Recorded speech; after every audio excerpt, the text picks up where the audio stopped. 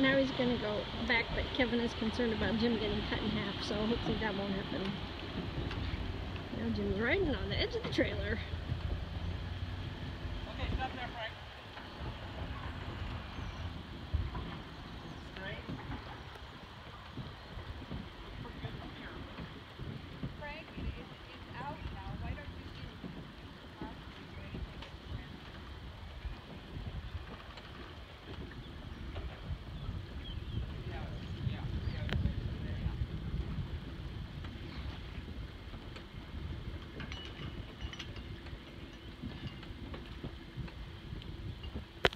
Okay. Obviously that winch is stuck.